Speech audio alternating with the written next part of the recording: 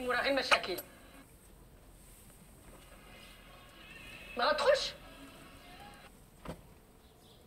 أمس داله